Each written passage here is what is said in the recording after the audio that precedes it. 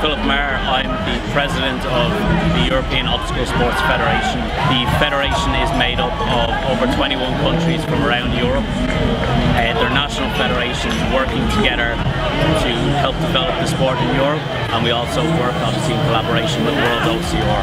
The athletes this weekend can expect a very tough course. The Saturday course is going to be a very technical course to really show who the best racers in this sport are. Hi, I'm Mike Halgos, I'm representing the Netherlands. And we are from Italy, from the Czech Republic. Mi nombre es Daniel Blanco. Mi nombre es Ana de Miguel González. Y venimos representando a España. Yeah! And Team OCR Norway? Italy. my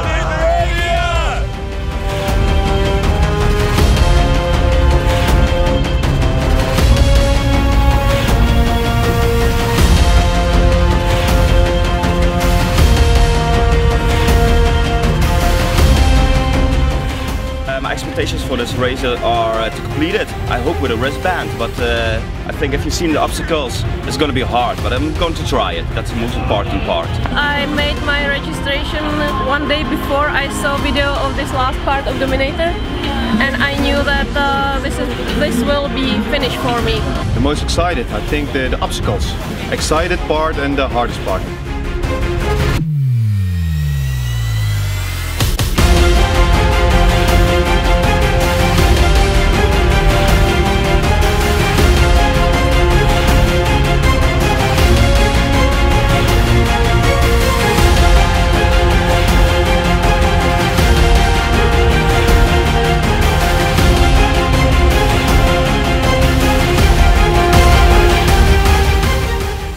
The European Obstacle Sports Federation and World OCR, we're looking to develop the sport to bring standardization to rules and regulations for the safety of the athlete. We are very athlete driven. We want to make the athletes experience at events safe, competitive, but fair, and to illustrate the good sportsmanship that we hope to see this weekend.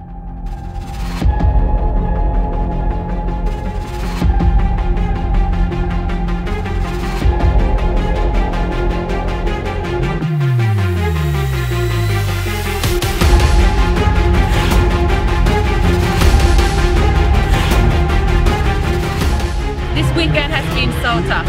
Insane OCR course. This weekend uh, was amazing. I think the last uh, four kilometers was very, very hard for uh, grip strength and uh, for the, all the arms. An obstacle race, back in the day it was something that showed you your fears. So you'd get cold, you'd go into confined spaces, you might get shocked by electricity and you'd face up to your fears and you'd conquer them and you'd survive and then you'd get a massive feeling of gratitude. you. You just get this great feeling of I, I did that. I was afraid but I did it. Whereas now we're looking at more of like a racing aspect and you need to have some more rules and some timing and some different things like that. So it's more now something that tests, in my opinion, every part of how a human evolved to be. So we evolved to be strong, fast, have a good grit, have a good flexibility, um, agility, and all these things needs to be tested in obstacle race.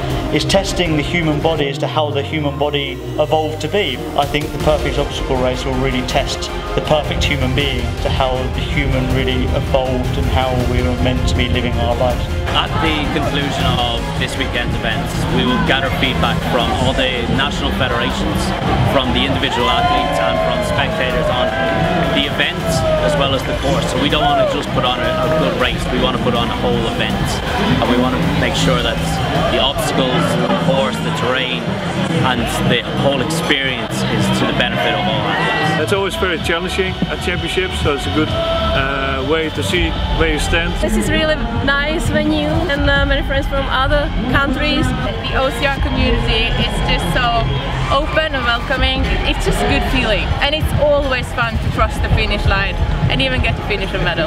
I think someone said by the time I was coming back into the stadium like um, a minute lead. Then I started working through the technical obstacles and got to the very last obstacle, dropped onto the ground, just went to walk over the line and found out that I'd messed up and I was meant to stop reel in a rope and then swing over a line and then walk over the line.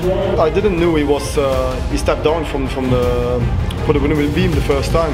So then I pretty hastily ran back to the beginning of uh, the obstacle where someone else turned up. So I'm walking back, was like, uh, what's, what's happened? And uh, we got together neck and neck on the, on the monkey bars. He executed the obstacle far better than I did. Uh, and got over the line half a second before me. I was pretty like quick in saying that whoever crossed the line first should win.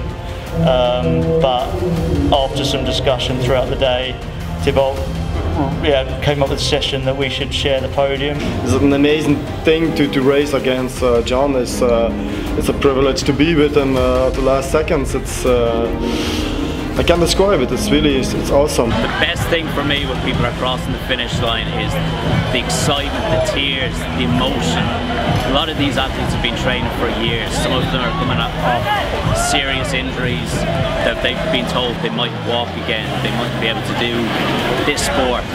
They've shown commitment and drive to push and push and push, and they're going to be here showing everyone that they can do this sport.